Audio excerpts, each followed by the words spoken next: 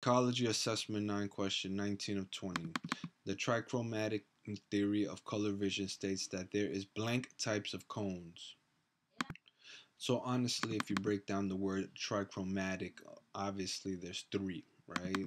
So the trichromatic theory of color vision states that there is three types of cones, and this forms uh, from colorblind individuals. So how do we know that there are three types of cones? Well, so these three types of cones uh, have been proven to respond specifically to, to a wide range of wavelengths.